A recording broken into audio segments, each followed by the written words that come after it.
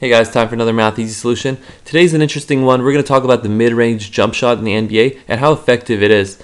Um, a lot of people have been talking about the um, analytics and saying how uh, it's not as effective as dunks or three-pointers. So we're going to break it down really quick and see if that's actually true. So I took some information here from basketballreference.com. Um, I've used this website for a long time and it seems to be extremely accurate. So we're going to use that for our calculations. What I did is I took the field goal percentage by distance. Um, and this is across the entire 2015-2016 regular season, and it includes all the teams combined. Okay, so this is league averages. Um, close range is 0 to 10 feet from the basket, 54.4%. Uh, and for us, I defined mid-range as uh, 10 feet to the three-point line. So 10 feet to the three-point line, 40.1%, and far range three-pointers, basically any three-pointer, even from half court, uh, whatever. So how are we going to take these numbers and convert them into the effectiveness of the uh, distances? It's actually really simple. We're going to find out the points per attempt you're going to be getting taking either of these shots. And the calculation is really simple. All you need to do is take the 54.4% in the first one here. We're going to just change that to uh, decimal here. 544. We're going to multiply it by how many points you're going to get if you score.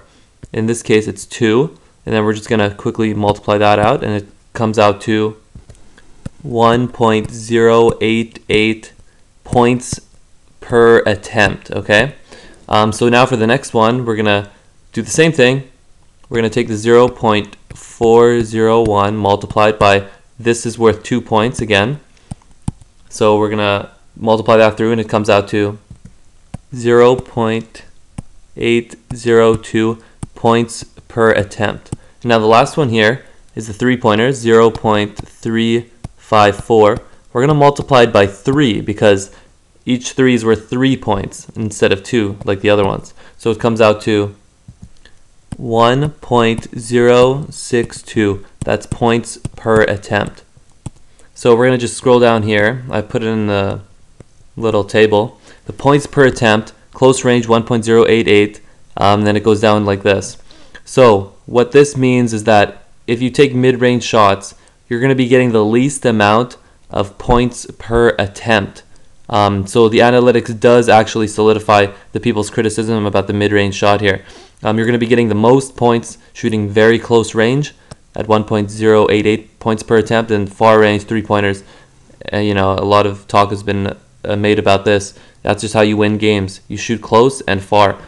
Um, with that being said, though, um, some teams they do shoot a higher percentage from mid range. This is a league average, like I said at the beginning. So some teams do shoot better from mid, but um, across the entire NBA combined, you know, the close range and three pointers is actually the way to go. So um, that's a little breakdown we did here. Let me know if you guys uh, like this or want to see more videos like this one. Um, and thanks for watching.